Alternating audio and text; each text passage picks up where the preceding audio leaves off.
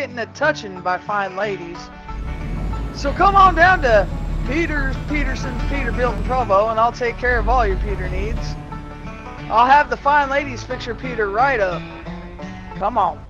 Who wants that stupid Peter? We'll take care of your Peter and your Kenworth here at Kyle's Kenworth, where every waiting room is equipped with an ice cold Jack Daniels dispenser. Yeah, and if you act now, we'll throw in free muffler extension. Free, free, free. Please get your Howdy, facts ladies right. and It's gentlemen. called exhaust, not muffler. I don't muffler do all the fancy weird. stuff that, you know, Kyle Kenworth I'm does. worried. It's Free, free, free, free. But what I do know is I put 100% quality into every Peter we think of down here. It could be a small Peter, big Peter, short Peter, long Peter, old Peter, new Peter.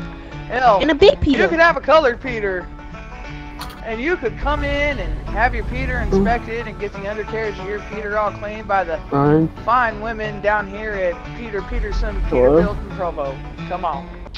Do you want a true American truck, or do you want a truck made of plastic parts like a Peterbilt, or even a Volvo? Stick with Kyle's Kenworth and Hobbs for all the best deals on the market.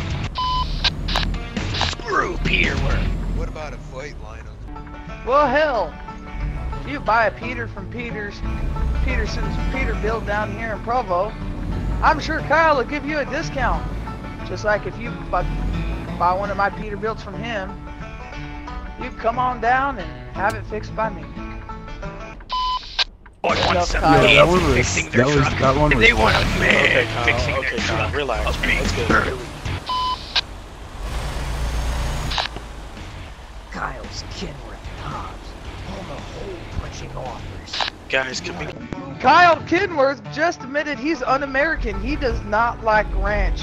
It don't get more American than Hey, ranch. favorite trust song? me. Stop playing music So come on down and we'll take care of all your Peter needs.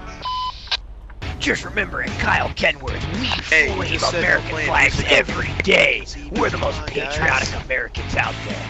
Pete's Peterbilt is full of Aren't terrorists. Kenworths made in uh in Canada though?